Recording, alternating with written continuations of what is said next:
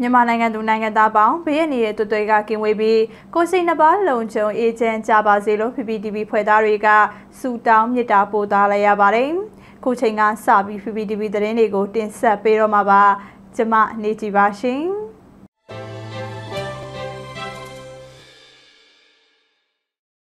ဒီကနေ့ဇူလိုင်လ18ရက်နေ့ဗုဒ္ဓဖူးနေ့တွေတင်ဆက်ပေးခြင်းတဲ့သတင်းကောင်းစင်တွေကတော့ຫນွေဦးတော်လည်းကာလအတွင်းတေဆုံးသူကလေးရေအတွက်က832ဦးထိရှိလာပြီလို့သတင်းထုတ်ပြန်လိုက်တဲ့သတင်းပြည်သူ့ကာကွယ်တပ်မတော်မှတ်နှစ်စစ်ဒေသခွဲမှာအပတ်စဉ်တေအခြေခံစစ်တင်နန်းစင်ပွဲနဲ့လက်နက်တပ်ဆင်ခြင်းခမ်းနားပြုလုပ်ခဲ့တဲ့သတင်းပတ်သိမ်းမုံရွာနဲ့တရက်မင်းတုံးလမ်းပိုင်းများကိုတတ်မှတ်ချိန်အတွင်းသာသွာလာဖို့မင်းတုံးမြို့နယ်ပကဖကတတိပေးလိုက်တဲ့သတင်း တောင်ကိုင်းရွာအနီးတိုက်ပွဲကနေလက်နက်တွေနဲ့စစ်သုံးဆောင်ပစ္စည်းတွေတင်စီရရှိခဲ့တဲ့ဆိုတဲ့သတင်းလက်နက်နဲ့အတူလင်းဝင်လာတဲ့ကျက်ဖက်စစ်ကောင်စီတပ်ကဒုတက်ချက်တအုပ်ကိုကျက်သိန်း80ချင်းမြင့်ပြီးလွမြောက်နေမြေတို့ပို့လိုက်တဲ့သတင်းနဲ့ဒီနေ့အတွက်မြန်မာနိုင်ငံတဝန်းကလူမျိုးပေါင်းစုံဘာသာပေါင်းစုံပါဝင်တဲ့ဆီယနာရှင်တော်လိုင်းစနပြလူထုတပိတ်သတင်းတွေပဲဖြစ်ပါတယ်။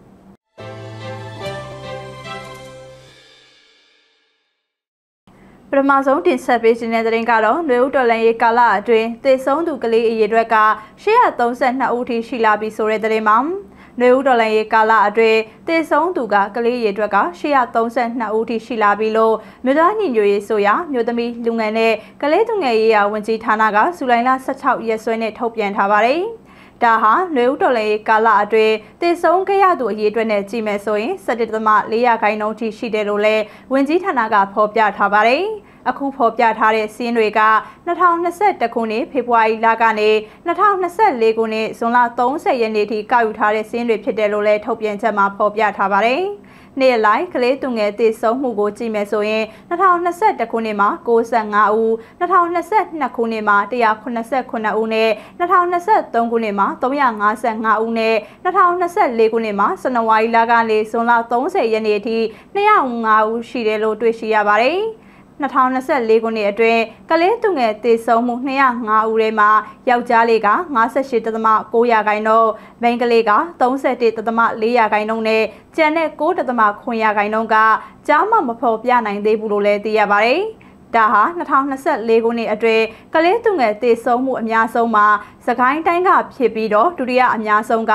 ရှမ်းပြည်နယ်နဲ့တတိယအများဆုံးကရခိုင်ပြည်နယ်ဖြစ်တယ်လို့လည်းဝန်ကြီးဌာနရဲ့ထုတ်ပြန်ချက်မှာတွေ့ရပါတယ်။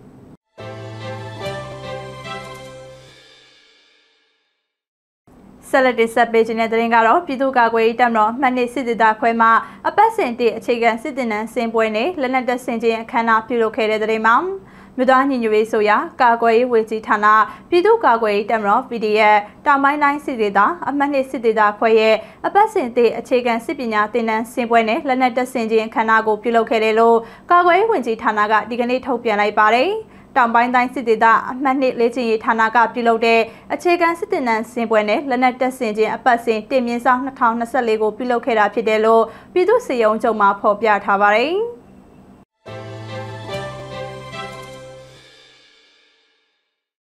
ဆက်လက်တင်ဆက်ပေးမယ့်သတင်းကတော့ပသိမ်မုံရွာနဲ့တရမင်းတုံးလမ်းပိုင်းများကိုတတ်မှတ်ချိန်အတွင်းသာသွာလာဖို့မင်းတုံးမြို့နယ်ပါကာဖတတိပေးလိုက်တဲ့သတင်းမှာ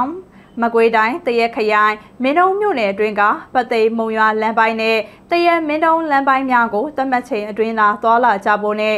9နာရီမှမနက်6နာရီအတွင်းဖြတ်တန်းသွာလာတာကိုမပြုလုပ်ကြဖို့အတွက်မင်းတုံးမြို့နယ်ပကဖမှမနေ့ကအသိပေးထုတ်ပြန်ထားပါတယ်။ အထက်ပါလမ်းပိုင်းများကိုဖြတ်တန်းသွားလာကြတဲ့အရရဲ့အနေနဲ့မှာခရီးသွားပြည်သူများအနေနဲ့ကားများကိုမှန်ချမောင်းချရန်အကြမ်းဖက်စစ်သားများအကြမ်းဖက်စစ်ကောင်စီထုတ်ကုန်များကိုတင်ဆောင်တာကိုမပြုလုပ်ရန်ရန်သူစစ်တပ်ကားများနဲ့အနိကရှင်တွေသွာလာခြင်းတွေမပြုလုပ်ဖို့အထူးတားမြစ်တယ်လို့အသိပေးထားပါတယ်။ တားမြစ်ချိန်ည9နာရီမှ6နာရီအတွင်းသာမဖြစ်မနေသွားလာရန်ရှိပါကမြို့နယ်ပခဖစီကိုဆက်သွယ်သတင်းပို့သွားလာနိုင်ပြီးတော့ဆက်သွယ်သတင်းမပို့ပဲသတ်မှတ်ချိန်အတွင်းကားမှန်ပိတ်မောင်းနှင်ခြင်းကိုစစ်ဆွေးတွေ့ရှိပါကပြင်းထန်တဲ့အရေးယူမှုတွေလှုံ့ဆော်မယ်လို့ဆိုပါတယ်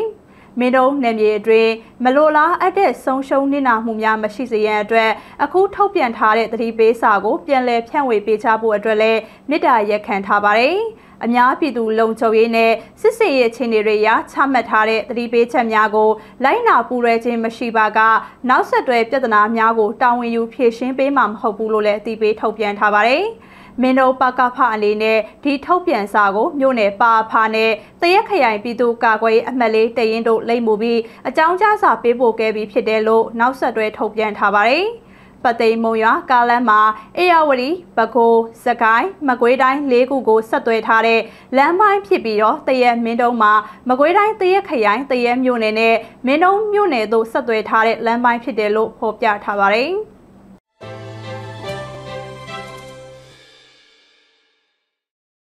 နောက်ထပ်တင်ဆက်ပေးခြင်းတဲ့သတင်းကတော့တောင်ကိုင်းရွာအနီးတိုက်ပွဲကနေလက်နက်တွေနဲ့စစ်သုံးဆောင်ပစ္စည်းတွေတင်စီရရှိခဲ့တဲ့သတင်းမှာ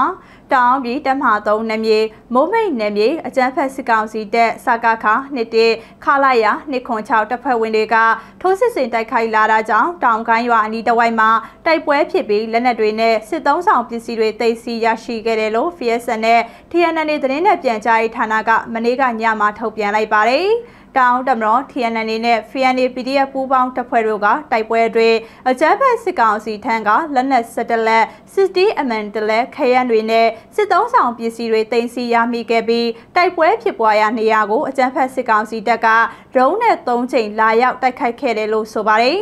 အလားတူတမနှစ်နမြေနောင်ချိုမြို့နယ်ကံကြီးရွာနဲ့တရကုန်းရွာအနီးတစ်ဝိုက်မှာထိုးစစ်ဆင်လာတဲ့အကြမ်းဖက်စစ်ကောင်စီတပ်နဲ့တောင်တမတော် TNN တို့တိုက်ပွဲဖြစ်ပွားခဲ့ပါတယ်။နောင်ချိုမြို့နယ်ဗန်ပွေးရွာနဲ့ရေဝင်းမှာတက်ဆွဲထားတဲ့အကြမ်းဖက်စစ်တပ်ကတဲခေါ်ရွာအနီးရှိ FSN နဲ့ TNN တပ်စခန်းကိုဇူလိုင်လ15ရက်နေ့ည9:15မိနစ်မှာဒရုန်းနဲ့2ကြိမ်လက်နက်ကြီးနဲ့3ကြိမ်တစ်ဖက်သက်လာရောက်ဘုံကျဲတိုက်ခိုက်ခဲ့တယ်လို့ဆိုပါတယ်။ မုံကုန်းမြို့နယ်မှာလည်းအကြမ်းဖက်စစ်ကောင်စီတပ်ဆွဲထားတဲ့မိုးကုတ်ပြူဟာကုန်းကတဆင်ရေအေးရက်ကွက်နဲ့ပန်းမရွာကိုလက်နက်ကြီးတွေနဲ့စုစုပေါင်း6ကြိမ်ပစ်ခတ်တိုက်ခိုက်ခဲ့ရာလက်နက်ကြီးကြောင့်အရသာပြည်သူ2ဦးသေဆုံးခဲ့ပြီးတော့၄ဦးထိခိုက်ဒဏ်ရာရရှိခဲ့တယ်လို့ FSN နဲ့ TNN သတင်းနဲ့ပြန်ကြားရေးဌာနကထုတ်ပြန်လိုက်ပါတယ်။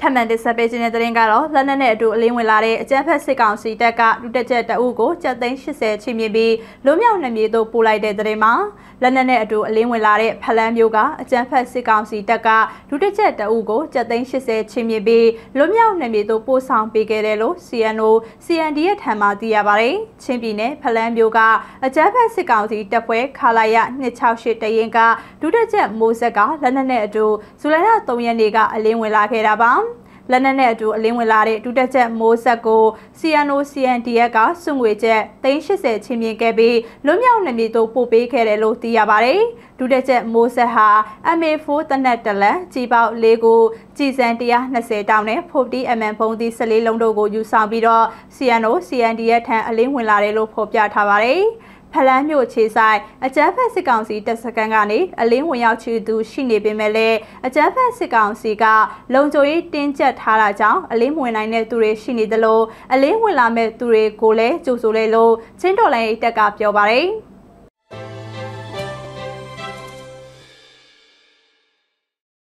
အခုနောက်ဆုံးအနေနဲ့မြန်မာနိုင်ငံတဝန်းကလူမျိုးပေါင်းစုံဘာသာပေါင်းစုံပါဝင်တဲ့ဆီယနာရှင်မြစ်ဖြတ်ချင်းမုံရေးလူမှုဆန္ဒပြပွဲသတင်းတွေကိုစူးစီးတင်ဆက်ပေးသွားမှာဖြစ်ပါတယ်။ရမပြေမျိုးနယ်ရဲ့နောက်ပြန်မလဲစီတီတော်လေးတပိတ်စစ်ကြောင်းက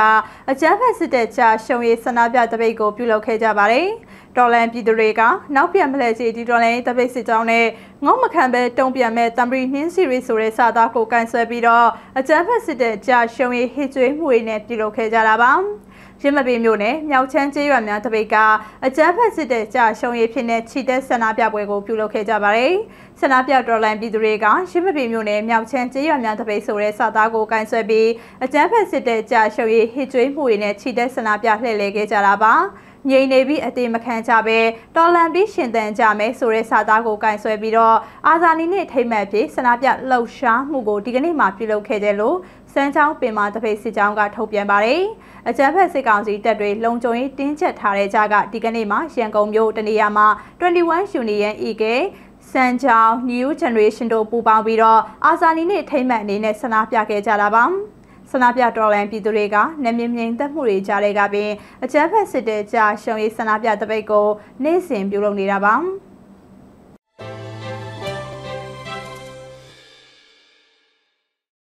ဒါကတော့ဇူလိုင်လ18ရက်နေ့သတင်းတွေနဲ့လူလူဆန္ဒပြပွဲသတင်းတွေကိုစူးစီးတင်ဆက်ပေးခဲ့တာပဲဖြစ်ပါတယ်။ကျေးဇူးတင်ပါတယ်ရှင်။